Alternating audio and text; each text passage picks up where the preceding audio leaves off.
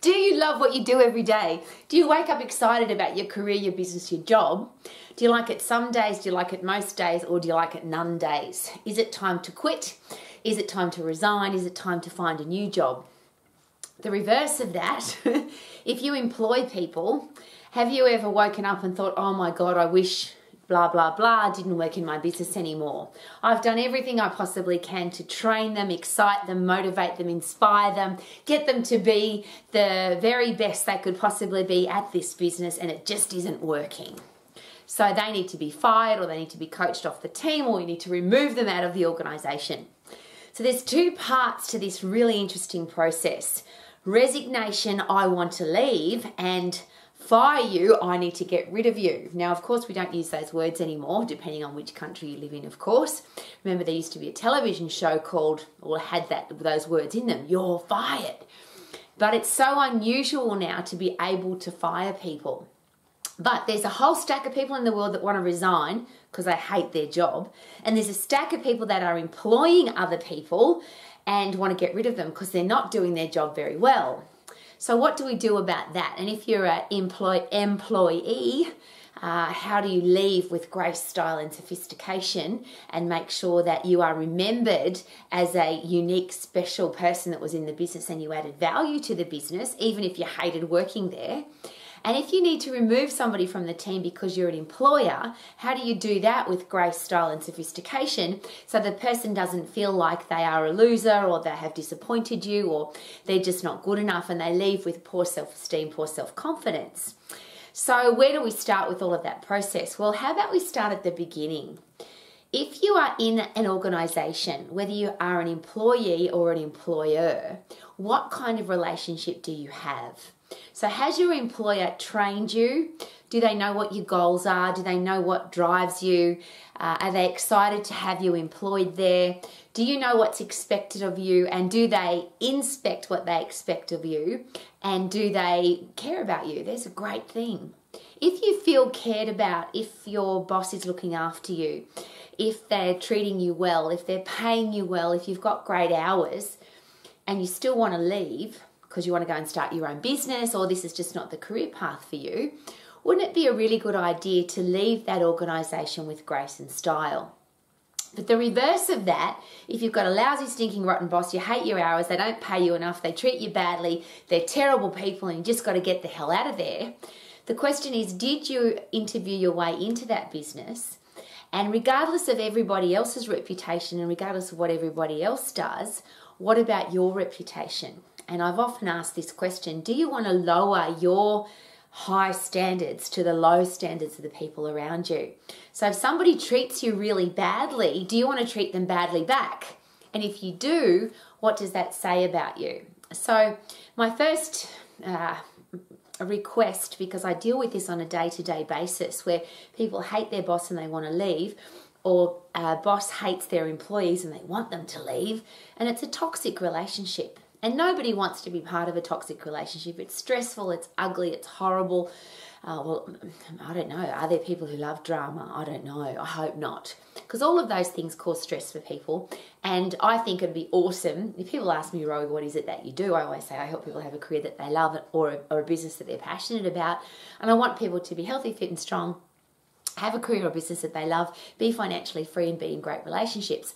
All the relationships in their life, whether it's boss and employee, whether it's partner, family, friends, sporting coach, whatever it is, I would love people to get on really well. How about you?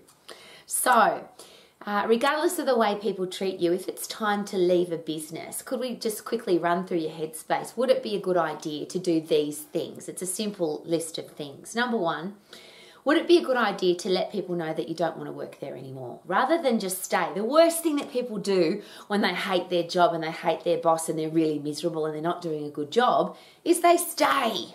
That's not good for you, it's not good for your headspace, and of course your boss is looking for a way to fire you if that's the if that's what's going on. And for most bosses, and I'll just give you the insight there, it's really hard to fire people emotionally, but it's also very hard legally to fire people. So if, you, if there's a toxic relationship, wouldn't it be just a really good idea for you as an employee to get the hell out of there? Just resign. And when you do resign, could we do it with grace and style and could these things be included? Number one, let people know that you're going to leave. Don't text them, don't send them an email, don't Facebook them. How about let them know personally face to face as an adult this relationship's not working out. I'm not happy here. These are the reasons why. I'm going to leave and this is when I would like to leave. Could you share with me how we could work that out effectively so it's a win-win? And the really important thing here is win-win. Because if you win and the employer loses, there's there's going to be a bounce back or a bite back sometime in the future. Somewhere, and if you think the world's a big place, it just isn't. Somewhere, sometime, that boss is going to come in connection with another boss of yours or a client of yours, and they're going to say horrible things about you, and it's going to be really bad for your reputation. So, wouldn't it be nice if you left an organization with everybody really happy that you were there? And even if they're really happy that you were gone, they respect the way that you did it. So resign face to face, let people know you're not happy. These are the reasons why, and this is when I'd like to leave. What's the win win situation? So you might have a lousy, stinking, rotten boss who blows up when that happens.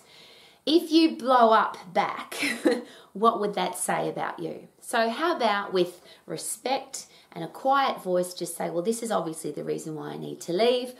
I would like to give you the required amount of notice, and you will have somewhere in a legal document when you first became part of the organisation that says you have to give X number of weeks or months' notice.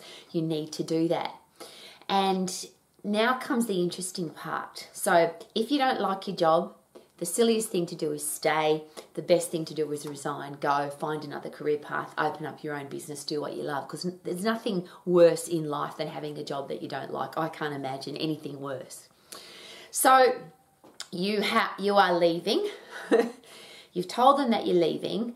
Most people now leave even though they've given four weeks notice or even if they've given six months notice their headspace is already gone so the quality of their work uh, the way they do their job uh, the the respect that they put into their into the organisation is obviously zero or mostly zero. I'm leaving in four weeks' time or I'm leaving in six months' time and I don't care anymore. I had a great quote today. Uh, there is not one athlete on the planet who has given less than the hun- less than 100% who lives without regret. I'm going to say that again. There's not one athlete on the planet that has given less than 100% and lives without regret. And that's an interesting headspace, I think, for all employees. If you leave an organisation and you gave them less than 100%, is it possible that you could live with some form of regret? If you leave an organisation having given 100%, done your best, been the best employer they've ever had, worked really hard, added value to the business, and you left because you didn't like the people or you didn't respect the boss or you weren't proud of the product or service or you just wanted to go and do something else or you wanted to open up your own business, what a nice way to leave. I left with my head held high, my shoulders pulled back. I put in 100% effort and I have no regrets. I added value to this organization. And it's a great philosophy that I was taught a very long time ago, which is ROE, leave a profit. If you're going to leave anywhere, whether it's a public toilet, a restaurant, somebody else's house, or an organization after you've worked there for 30 years, leave a profit, which means leave it better than you found it. So that when I was there, this became better because I was there. Now, for me, that's picking up the paper in a public toilet, it's taking my plate and cup back to the kitchen at a restaurant it's uh, putting away whatever is sitting around in somebody's house or helping to clean up or buying a gift if I go to visit somebody. And certainly, if I work in somebody's organisation, I want to have a reputation of we're really happy Rowie was there because she added value to the business, she added profit to the business. And profit doesn't have to come in the form of money, it just can be that you added value to the organisation, you made people feel better. So if you want to leave like that, there's some things that you have to do. Resign, give the amount of notice that's required or more, and then make sure that you train the next person to be better than you. It's a really interesting headspace because what happens, most people don't train anybody. so the new person comes on board and has to guess everything. And if it's a bad boss, this poor person really has to guess because the boss doesn't train them properly. Uh, if you uh, come into an organization and somebody's training you who hates the organization, is it possible that they will teach you or train you in all of their terrible ways? So they'll they'll teach you to do all the terrible things that they did. Somebody leaving that's got a really big ego and somebody that's arrogant, they don't want the next person to be better than them. so they don't train them very well, which means the next person doesn't have a great reputation because they have to try and work everything out. So, wouldn't it be nice if when you leave, not only do you train the next person, but you train them to be better than you? So that people say, oh, wow, Rowie was a great part of this organisation. But the person that she trained after she left was even better. They were amazing. What a great reputation to have. So, don't stay in a job that you don't like. Resign with uh, dignity and respect give the right amount of notice, train the next person to do your job better than you do. Then, everything that you have to do before you leave, get it done. Wouldn't it be nice if the next person didn't have to open up a cupboard and didn't know what was in there?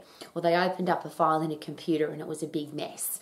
Most people leave their desk in a mess, they leave their computer in a mess, they leave their past career in a mess, move on to something else. And my question is always this if you are leaving a mess behind you, what's going to be your reputation? She's the mess maker. And or what does that do to your own headspace? And I'll go back to that quote. If you do anything less than 100%, is it possible that you'll live your life with regret? So, how about leave every organization better than you found it? The next person trained better than you and they do a better job than you do, and no skeletons in the closet. And the other really thing, interesting thing to consider is if you've got anything in your headspace, in your heart that you're bitter and twisted about, share it. Get it off your chest. Because there's two parts there. One is you don't want to take that baggage with you. And you don't want to get three years down the track saying, God, I wish I'd said that before I left. And I've met a lot of people like that. They're really bitter and angry and twisted about a boss or an organization that they worked in years ago. They haven't gotten over it. You don't want to be waking up in the middle of the night going, God, I wish I'd gotten angry before I left, or I wish I'd told them what I thought. So, how about tell them what you think? These are the reasons that I'm leaving. These are the reasons that I think the organisation isn't working well. I think that this business could be more profitable if you did this. Whatever list of things you've got going on in your headspace, I often hear this if this was my business, I'd do it better. Well, this could be a great opportunity to share with the people in the organisation how you would do it better and why not for your own personal headspace. The next part of that is again the win win is even if the person that you're sharing the information with doesn't believe you or they justify or they get angry or they get defensive, they can't unhear what you said. So, next time that situation arises, they might do it differently. I'm not promising that they will, but they might. If you share with them that they've been rude or disrespectful or hypocritical or any of the things that people say about bosses or managers, it is possible that if you give great feed forward and you give it in a respectful way, I never say feedback because I think it should take you forward, not backwards. Uh, if you do it beautifully, is it possible that it could make a difference? Now, it might not, but it will certainly make a difference to you because you can offload the stress, offload the garbage, offload the drama, and move on. You don't want to leave an organisation all bitter and twisted and angry and be angry in the future. So I'll just wrap all of that up. Don't stay somewhere where you're not happy. Don't have a lousy, stinking, rotten job. Just don't do it. You don't have to anymore. The world has plenty of places for you to work. And there's ultimately, I'd love you to have your own business where you choose your own hours, be your own boss, do it your way, go on holidays when you want to go on holidays, earn the amount of money that you want to earn, and literally be in control of your life. But if you want to work in an organization, make sure if you're leaving this one, you find now the one that's really going to be the best one for you, that's going to give you what you need. It's rewarding, it's respectful, it's, it does all the things that you need because now you get to choose. You, as an employee, get to choose what you want to do, or you can go and do what you're really passionate about and perhaps open up your own business. So don't stay if you don't love it. Resign with respect. And you've got to know that it's so much easier if your boss doesn't have to fire you. So much easier if you get to resign. Resign with respect, give the right amount of notice, train the next person to be better than you. Don't leave a mess behind. And if you've got anything to say, make sure that you say it so that you can leave with your head held high, knowing that you gave 100% and you did the best that you could possibly do for this organisation. Because there's there's the question in in my mind always. Either you didn't love this job, so you should never have been there been there in the first place. You had a lousy, stinking, rotten boss who didn't respect you, so you couldn't work with that person. You had a team of people around you that you either didn't like or didn't respect, or they didn't treat you respectfully, or you're in the wrong position. Often people go into a business and the boss or the manager puts them into that role without considering what you love, what you're excited about, what you're passionate about, what you're really good at, what you want to do. They often don't even ask. So if you're in that position where you've been in the wrong, you, you might have been on the right team, but you're in the wrong spot and, and you can't get out of that spot make sure when you go again into a new organization that you go to the right organization and get on the right spot and have a life that you love because you want to wake up every day loving to go to work yeah wouldn't that be awesome so wouldn't it be nice to leave an organization like that with style grace sophistication be an adult be respectful and leave knowing that you are the best person they've ever employed? Wouldn't that be a great reputation to have? Haha now we're at the reverse. You have to fire somebody because the person that isn't doing their job properly, they're not adding value to the business, they're disrespectful, they're not doing the role the way they're supposed to, you can't trust them, they're not loyal, all the reasons that bosses want to fire people. And I'm just going to put in an interesting side note there. If you are an employee and you're made redundant, or the boss is trying to fire you, or you know they're trying to get rid of you, and I'm sure you've had that gut feeling where you think, yeah, I know, I really, I'm probably going to lose my job because I'm not good at what I do there's a reason for that.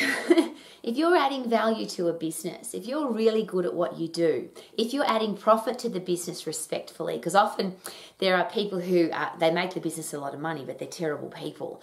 Uh, often a good boss and a, certainly the good owner of a business will, will not want that kind of person in the business. Sometimes we just can't afford the profitability of a, of a, of a team player. They might be earning you a lot of money, but they're a terrible person.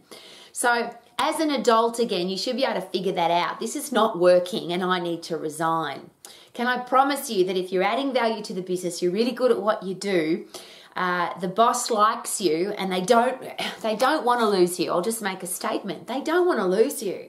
If the business is not working or it's there's a we've been through some interesting times in history where uh, the government has controlled the business or the when the business can open or whether it can even operate uh, that's when a, an employer has been in a really interesting situation where they don't want to lose this person, but they have to because they just can't afford to pay them anymore, for example. But can I promise you that a, a top level business person, an entrepreneur, somebody that has is constantly thinking and growing and coming up with new ideas, even if the government's trying to control their business or shut it down or control its hours, or if there's a global financial crisis or there's something going on in the world that this business can't operate effectively, a really good business person is already thinking about their next business or how to turn this business around. And they're going to keep the good people. As a very personal and private note, that as an employee you might not know, uh, most business owners, most managers, owners, bosses, uh, they look for those tough times in history global financial crisis, worldwide medical pandemic, bushfires, floods, all the things that happen. They are opportune times to get rid of the bad team players because often that's when the government is a little bit more lenient on firing legal uh, leg- or legislation. So often, if there's a global financial crisis and the business is going to go insolvent, uh, the, the government makes it easier to make people redundant. And most great business operators will use that opportunity to get rid of the bad team players. They're already looking at the next business. They know that they're going to be successful because all entrepreneurs, they never give up. They just keep going. Doesn't matter if they go bankrupt or the government closes them down. Really good business, business operators will always keep going. And they, they have to take with them good people. It's not that they even that they want to, and of course they want to, but they have to because really great people are hard to find. So if you're an extra mile person, if you always give 100%, if you always add value to the business, if you add profit to the business in a beautiful, respectful way, your boss is not trying to lose you. And even if they have to make you redundant for whatever reason, you will be the first person they call when they open up the next business, or you'll be the first person they call when they go to another business and have to employ people. Can I promise you that? If you're a great person, if you're respectful, if you're good at what you do, and you keep aiming to get better at what you do, you are always employable. And I always ask people that question because some people have said to me, Oh, Rowie, I'm unemployed. Well, I always say, Congratulations. you should probably be unemployable because employment means you have a boss who's controlling your life and your hours and your income. Wouldn't it be great to choose your own hours, be your own boss? Now, I'm a classic example of never having started a business. I'm not an entrepreneur, but every business I've ever gone into, I've grown it made it more profitable, given it better systems, made it more successful, made, made it a better place to be. And that's made me very, very valuable to the business. I've never had to work for a wage. I've always had, I've always, always been a, a, a contractor, a subcontractor. And I'll go a step further than that. I've always backed myself where I know that I can add value to the business, which means I want to take a percentage of the profit because I know that I can grow the business, which means then I want to be paid for what I'm worth. All of that's very hard to find. So if you're one of those people, your boss, your owner, your manager, the person who runs the organization, whether it's a sporting team or an orchestra or a big business or a tiny business or an online business, if you're employed by somebody, you're involved in a business and you're really good at what you do, they don't want to lose you. So if you've got that feeling that your boss wants to fire you, is it possible that deep down in your soul you know why? Would it be a really good idea then, rather than put that person through the stress of having to fire you and going through the process? Because we don't fire people anymore, we have to coach them off the team. We have to go through a big, long, expensive, horrible process to get rid of terrible people off a team. It's really hard to remove people from a team once you've employed them. So, again, another interesting side note if you're applying for a position and somebody's going to pay you $5,000 a year or $50,000 a year or $500,000 a year, it's a risk. Because once you're on the team and once you're being paid, it's very difficult to remove you off that team. It's the biggest risk in business. Employing people is by far the biggest risk, the most hassle. It's a pain in the backside. But as most business owners know, they can't do it on their own. They have to have people to help them. So they're always looking for great people. So if you've got that gut feeling that this relationship has gone sour, that this relationship's not going to work anymore, could it be a respectable thing to do to just resign and do it beautifully? If you're a boss, a manager, a leader, the owner of a business, and the person doesn't resign and they're not doing their job properly, there's three really important questions to ask. Number one, have I trained them effectively? Do they actually know how to do their job properly? And we have to take responsibility for that. If you don't train people properly and they don't know what to do and they're trying to do their job by mind reading and they keep stuffing up, that's not the employer's fault, is it? it's me. It's I'm the boss. I have to take responsibility that I didn't train them properly. The next thing I have to ask myself is does this person uh, love what they do? Do I know why they love it? If they don't love it, what could I do to change it? Do I know what their goals are? Do I know their family situation? Do I know how, how much money they need to earn? Maybe it's the hours that they're working that aren't working. If I've got the if I think I've got the right person because I've been through the right attractment process and I've trained them effectively and I can tick that box, yes, I know that they know what they're supposed to do. But what if they're in the wrong role? Maybe they're the right person for my business, but they're just in the wrong spot because it's the wrong hours or they're working with the wrong people or it's the wrong skill set. I have to take responsibility for that. So they might be the right person, but have I got them in the right spot? And do they know how much I appreciate them and care about them? And I always ask this question of every business owner because I've done in my lifetime literally uh, coached thousands of businesses, thousands of businesses to get better. and the number one question I ask every employer who's complaining about their team players, but I still ask every employer even if they're not, who are they? What do they stand for? What are their core values? What are their goals? What's their family situation? How much money do they need to earn? When do they want to go on holidays? What's the best hours for them to work? What's the, what are the things in their life that they want to own? Do their kids want to go to, or do they want to send their kids to a private school? Uh, what kind of car do they want to drive? What kind of house do they want to live in? What kind of clothes do they love to wear? Because they're the driving forces for people who work for someone else. And often bosses think, well, you have to do what I tell you to do because I'm paying you wages, and then wonder why people want to leave because they don't care about them. So have you trained the right per- have you found the right person? Have you trained the right person? Are they in the right spot? And are they getting what they need from your organisation? Now, if you can tick all of those boxes and you've still got somebody who's not performing well, is it possible that you have a bad apple? They've got bad, they're, they've, they've got bad character traits, or they're lazy, or they're undisciplined, and they're not adding value to your business. Now, they might be really good on somebody else's team, uh, and I use the sporting analogy for that. I might not be world championship level for football playing or for for um, uh, a martial art or for uh, playing rugby league. I might not be at the top level, but I might be the best in a community team. I might be the best for the state team or the national team, just not for the world championship team. So sometimes, and I've done this many times in my career path because I've employed thousands of people as well, is my organisation's not the right one for this person, but I find the right one for them. Maybe the pressure's not so high, maybe it's a different skill set, maybe it's a different atmosphere. I've had a lot of people, and a surprise, surprise, I've had a lot of people say to me, Rowie, I can't work here anymore, I can't be happy every day, it's too hard. Literally, I've had, and many more than one person has said that to me because there's a very high expectation, obviously, in our environment that you're going to be a positive, optimistic solution finder all of the time. That's the expectation. And for some people, that's really hard. So, for people that have come to me and said that, I know that they're a great person and I know that they've got a, they love their life or they've got what they want to do in their life. I always know that about my team players. So, I, okay, well, let's find the right place for you. What do you actually want to do? And lots and lots of my team players, I've ended up placing them in somebody else's business. It's just a different organization with a different philosophy and a different headspace. There are some organisations where it is kind of okay to go in a bit grumpy because the boss is a bit grumpy sometimes too and they don't care. So, have I found the right person? Have I trained them? Are they in the right spot on the team?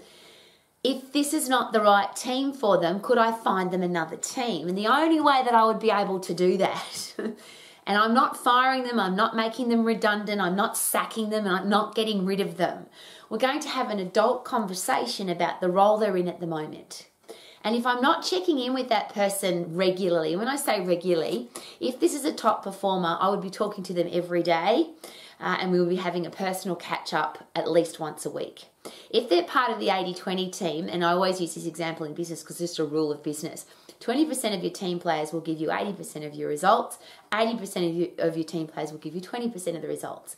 This 20% group, obviously, you don't want to lose them. This one's going to turn over probably quite quickly but your 20% group, you want to keep them.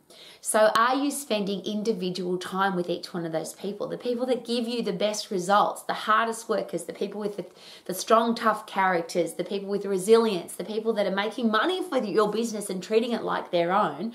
Are you looking after them? And if you're not, that's another thing to ask yourself. Maybe I'm going to lose them because I don't care about them. If you are investing quality time, individual quality time with these people, and they're not performing, now how do I find the right place for them to perform? So that's a personal conversation. We're going to sit down together. Obviously, this relationship's not working. You need to share with me. I know that you know how to do this. You, I've seen you do it. I've trained you. Uh, I know that you've watched the video on how to do it. You've read the manual on how to do it. I've seen you operate at, at 100% performance. Obviously, that's not happening at the moment. What do I need to do as your leader, as the coach, to make sure that you can perform at that, at this particular role? Or do you not want to perform at this role anymore? Or am I doing something that's stopping you from performing at this role? This is an initial chat. And if you do this effectively, the person will resign. They'll be so grateful that you've come to them personally and said, I know that you're not happy. I want to make sure that you're happy. What do I need to do to make you happy? How can we make this work? How can we create a win win situation? And if you do it beautifully with grace and sophistication and style, often a person will resign right there. They'll just say, Look, thank you, Rowie. I really appreciate the fact that you've talked to me personally about this. I've been thinking about resigning for a long time. I want to go and open my own business, or I want to go and travel, or I'm getting married, or I'm having a baby. I didn't know how to resign. I really appreciate that you've come to me personally. How simple is that? That is step one, though, if the person needs this job or they are adamant that they're going to stay here because they have to, or they might just want to be a pain in your ass. I don't know. But there are some people that even if you have an adult conversation with a win-win, I want to I want to find you the best place to to to enjoy your career path, or I want to find out how I can help you to make sure that you enjoy this one, uh, they still don't perform. So you might walk away from this conversation. They say, Yes, Rowie, thank you very much. I really appreciate the fact that we've had this chat. I'm going to be 100% person now. I'm going to arrive on time, wear my uniform, be nice to the customers, clients, and members. I'm going to follow the systems that I know how to follow because you know that I know how to do it, and everything's going to be fine from here, which is a win win. Aha. At least they don't. Now, what do you do? Now we have to have a second conversation. Now, depending which country you live in, and I've managed health clubs in multiple countries, so this has been a really interesting experience, particularly when I managed health clubs in Belgium and France where I couldn't speak the language. So I had to get a translator for the for the HR rules. It was a complicated situation. But every country has has rules for firing people, rules for giving people notice, rules for motivating people to get better at what they do. There's rules for mediation, and you have to know the rules for your country. But ultimately, it's usually either a 3 to 5 step process, but you have to document it. There's too much of he said, she said. And if you go to mediation, for example, which I have been to many times, uh, the the mediator and then unfortunately the judge at employment court is not interested in he said she said. It has to be documented. So whatever conversation you had you either ask the person do you mind if i record it or you have to take minutes of that meeting, or you have to e- uh, send an email at the end of that meeting to say, This is what we covered in the meeting. Can you please sign it off to make sure that I've got it exactly right? Now, that's a beautiful thing to do, by the way, because if you have a conversation with somebody and you say, Look, I just want to paraphrase back to you what we've talked about, and I'm going to keep a record of that. I'm going to send it to you, and then you're going to sign it to make sure that I got it right. So please have a read of it, and if I didn't get it right, could you please let me know and change it because I don't I don't I want to make sure that I understood everything that you shared with me. Now, again, if you do this really well with style and grace and sophistication, this person might now finally realize we're serious here. They don't want me to work here anymore. This is not a good situation. I really need to get out of here.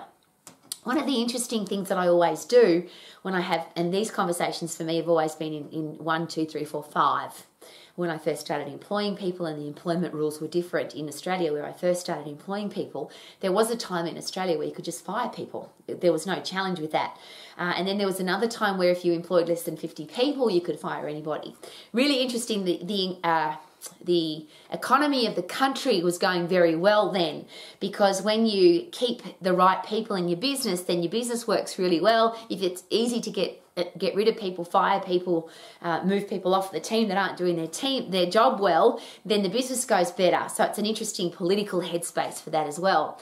And there's a lot of argument for both of those. But I've again learnt the hard way, and I hope I save you a whole heap of time and money and stress and hassle by this beautiful process. So, first conversation, I know that you know how to do it. No, I'll go back. The first conversation is with yourself. Have I trained? Did I find the right person? Did I train them effectively? Are they in the right spot? Do I know everything about them that I need to know to make sure that they can perform at their best? And if the answer is yes, then you can put your hand on your heart and say, Yes, I've done all of those things. Now I have to remove this person because they're not adding value to the business, or they're detracting value from the business, or we're losing money because of them, or they're just a bad apple. First conversation are you happy? What can we do? I know that you know how to do this job correctly. I, I, have always believed in you. I wouldn't have, wouldn't have put you onto the team if I didn't believe in you. Now you have to share with me how I can help. If that conversation goes further than that because they didn't resign, you have to document that Johnny promised that based on his performance, even though he was underperforming in this area, this area, this area, and this area, and they're the questions you have to ask. Johnny, I know that you know how to vacuum the, the gym. I've seen you do it, you've ticked it off. I went into the gym today, it wasn't vacuumed. I know that you know how to do it. Can you share with me why it wasn't done? And if you've got four or five of those, you, and again, it has to be documented, but Johnny has to explain to you why he isn't doing what he's supposed to do. If he leaves that first conversation and says, Yes, I'm going to do it, and you go back into the gym and the, the floor's not vacuumed, now you have your second conversa- conversation with Johnny. Johnny, I'm very disappointed that the gym floor's not vacuumed. Again, we've had this conversation. I know that you know how to do it. There's obviously an underlying challenge. You really need to talk to me. Now, again, if you're very privileged, Johnny will resign now. He'll say, Yes, Rowie, after our last chat, I've decided this is not the place for me. Thank you very much for talking to me, and I'm going to give my notice. From an employer's point of view, I'm going to give you something very controversial. Uh, it's called the Go Away Fund or the Get Be, Be Resigned Now Fund. Because often when people resign, and I'll use the reverse, I'm going to give you four weeks' notice, but they quit then, even though they they actually work through for four weeks, most people's headspace quits when they resign. It just stops. So wouldn't it be nice to say thank you very much? Here's four weeks' wages, here's four weeks' salary. Thank you very much for being here.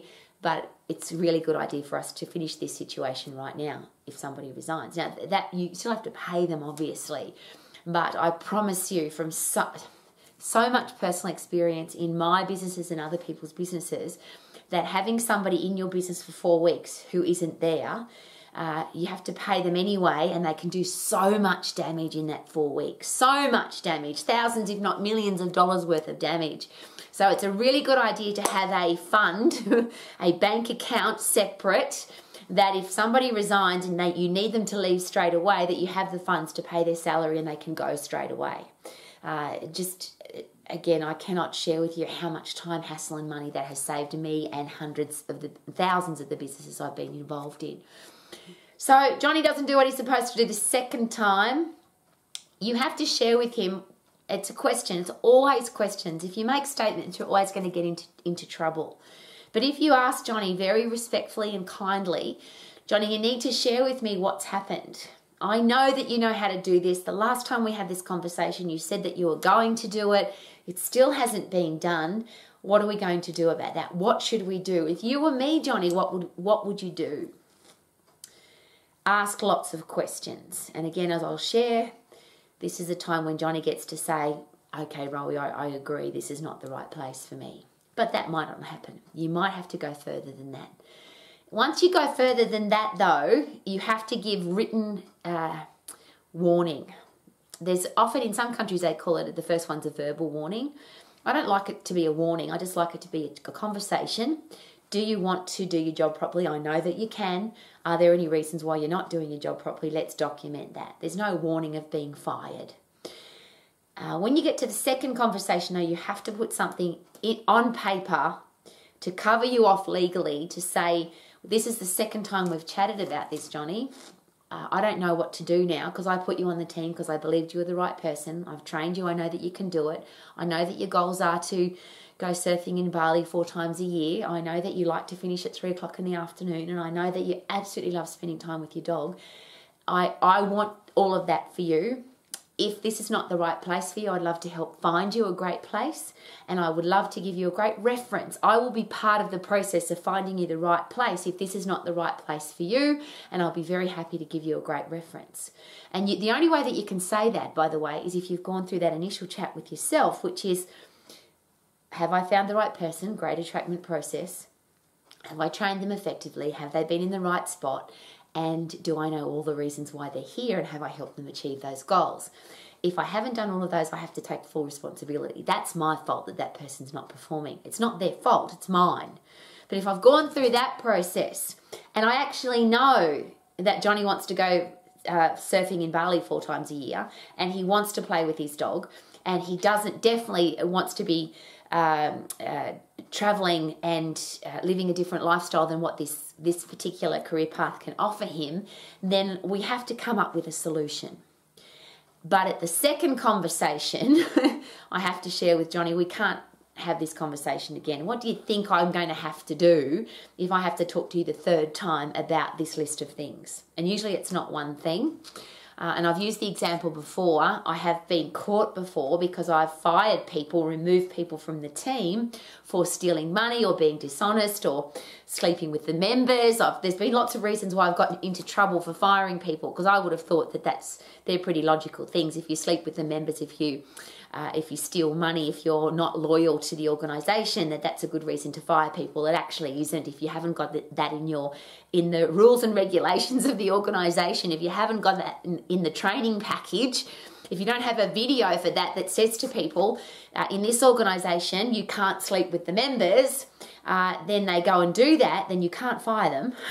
you have to go through this process. So, chat number one, chat number two, but at chat number two, there has to be something that says, What do you think we should do uh, if this happens again? You might go to three, four, five.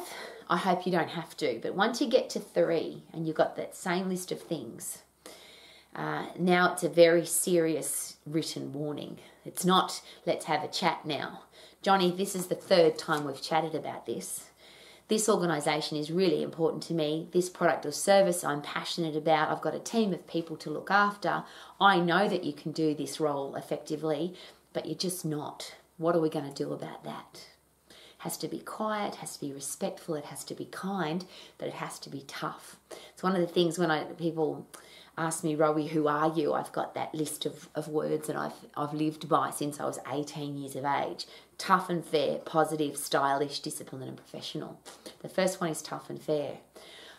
I'm really tough, but I'm very fair. By the time we get to the third conversation, we have to have a conversation about the reasons why you're not going to be on this team anymore.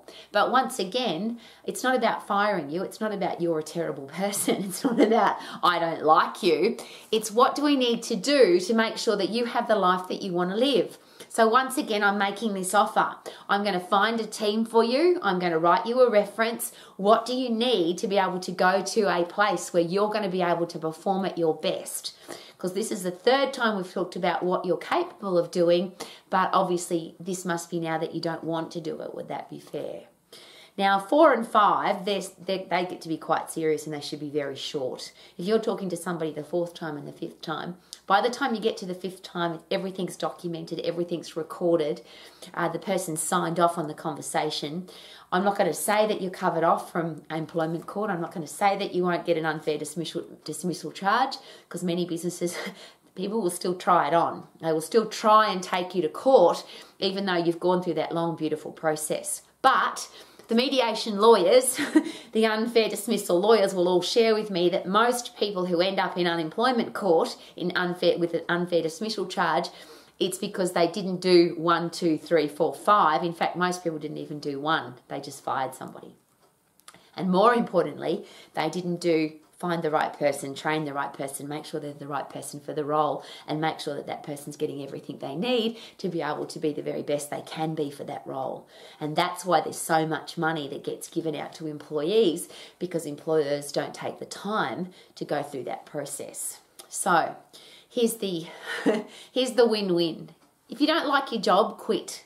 Do it with grace, style, and sophistication. Give the right amount of of notice, train the next person to be better than you, leave everything better than you've excuse me, better than you found it. And if you've uh, got anything that you need to talk about, make sure you get it off your chest before you go. Great idea. If you're an employer and you've got a bad apple on your team and you know that they're a bad apple because you've done everything you possibly can to, to help, and usually the first chat is more about being able to help. By the time you get to third, fourth, fifth chat, you should be able to put your hand on your heart and say, I have done everything I possibly can for Johnny, but Johnny just doesn't want to be here. So if he's not going to resign, he's we're going to have to coach him off the team. And this is a coaching process. And now, Johnny, it's time for you to go and be on somebody else's team. Now, I've given you an overview and a very fast overview and it's going to be different for every country. And we have max professionals in 17 countries right now. So every country has a different employment setup, different employment laws, different HR rules and regulations. So, whatever country you're in, you have a responsibility to learn those rules, regulations, and laws for, uh, for human uh, relations, for uh, employing people. And most importantly, this process that I've skimmed over is a part of the personal coaching program at Max. Your business diploma is not only here for a lifetime to help you with this, because this is one of those beautiful things when you'll actually realize that this is a long term lifetime education, it's not going anywhere. Because often people come to Max and they start off as self employed people and they are just the one person on their team it might be three, four, five, even 10 years before you start employing people. And that's when this all, all comes into play. And that's when we need to do personal coaching session. And this particular process of putting people onto your team and how to get rid of people that aren't the right person for your team, how to coach them off the team with grace, style, and sophistication. That is a, beautiful process that we want to do personally. And we have to do it in sync with the rules and regulations of the country that you're in at the moment. So I'll do the research for your country if we do this as a personal coaching session to make sure that this is done beautifully. Resign with style, grace and sophistication. Make sure that you coach people off the team with style, grace, and sophistication. And wouldn't the world be a better place if we just found the right place for us to earn money, to live our passion? I hate to use the word work because work's doing something when you'd rather be doing something else, and having a job is just over broke. I would like everybody to wake up every day doing what they love, being passionate about it, being excited about going to the place where they earn money, and adding massive value to the world with whatever they're doing. Wouldn't that be awesome? Woohoo!